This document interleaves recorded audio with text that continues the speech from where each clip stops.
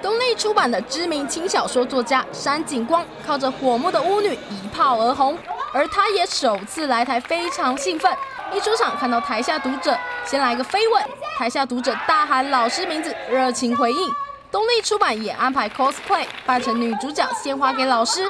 此外，这是签名版做成 3D 图画本，一位幸运读者带走山景光亲笔签名人形看板，并与老师一起摆出七龙珠的经典合体姿势合影，很搞笑嘞。